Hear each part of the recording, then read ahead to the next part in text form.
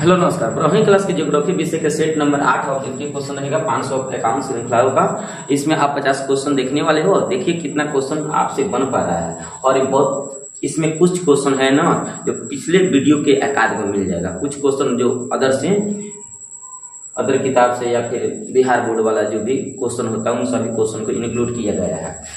पाँच सौ इक्यावन नंबर तीन सौ इक्यावन नंबर जो क्वेश्चन है ना, ट्रांस महाद्वीपीय अस्टुवर्ट महामार्ग।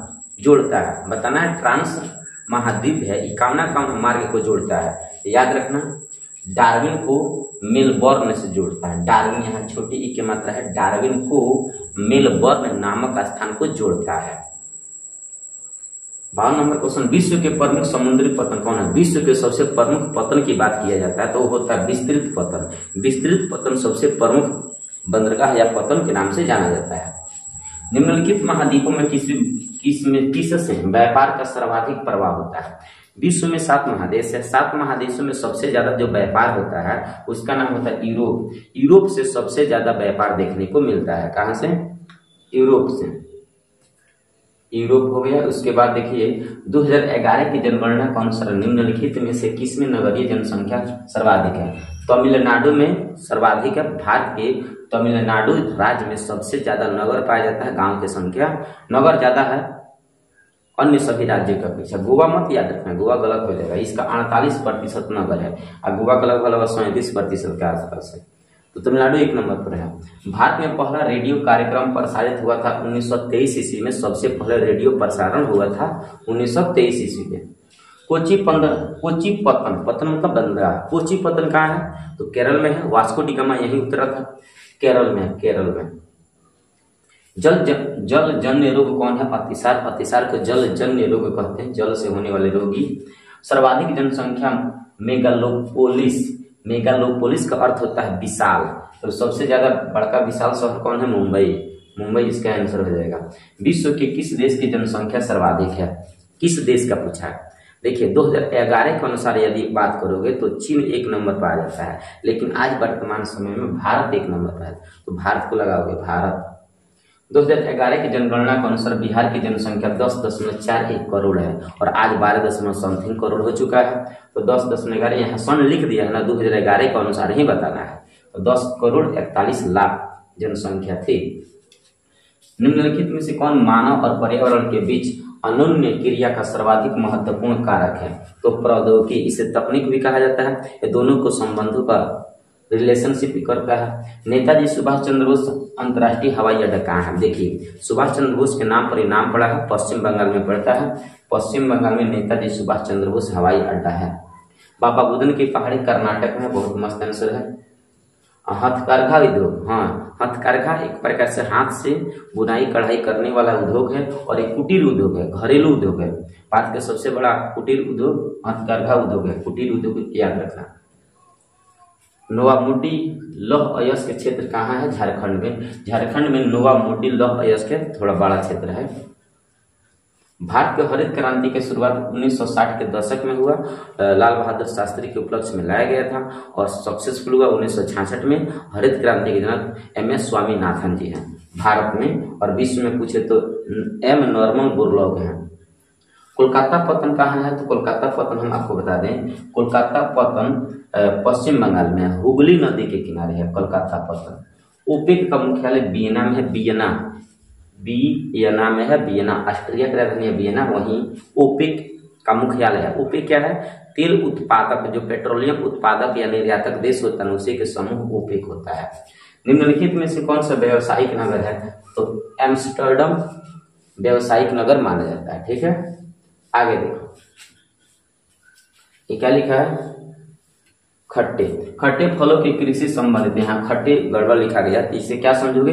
खट्टे फलों के लिए कृषि संबंधित होता है। तो भूमध्य सागर में सबसे ज़्यादा खट्टा फल के उत्पादन होता है। यहाँ खट्टे फलों की कृषि किससे संबंधित है?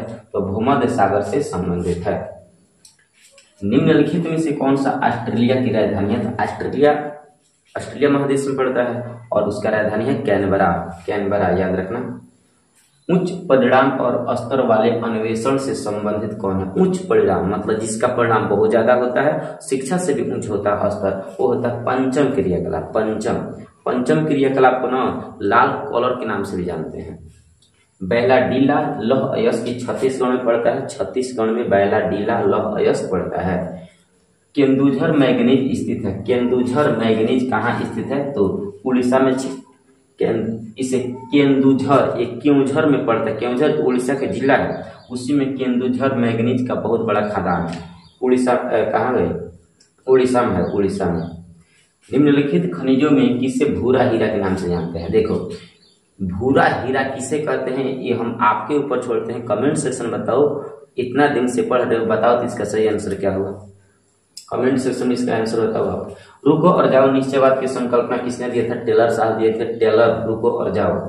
किस वर्ष विश्व की जनसंख्या छह अरब हुई थी? तो उन्नीस सौ निन्यानवे ईस्वी में हुई थी। उन्नीस सौ निन्यानवे में। जनांकीय संक्रमण सिद्धांत नोएस्टिन ने दिया था? नोएस्टिन ने दिया था। जनसंख्या संक्रमण सिद्धांत का प्रतिपादन नोएस्टिन के द्वारा सुधार करके दिया गया था। ध्वनि प्रदूषण का मापन क्या होता है? डेसिबल। ध्वनि प्रदूषण किससे मापा जाता है? डेसिबल में मापा जाता है। डेसिबल याद रखना। निम्न निम्न में से कौन आयु वर्ग कार्यशील जनसंख्या का प्रतिनिधित्व करता है? तो पंद्रह साल से लेकर उनसठ साल के बीच में। किस वर्ष से यूएनडीपी मानव विकास सूचकांक पर, पर, प्रकाशित करता है? तो किस वर्ष में यूएनडीपी द्वारा मानव विकास सूचकांक जारी किया जाता है? उन्नीस से उन्नीस सौ नब्बे से जारी किया जाता है। शुष्क कृषि में किस प्रकार की फ़सल नहीं बोई जाती है?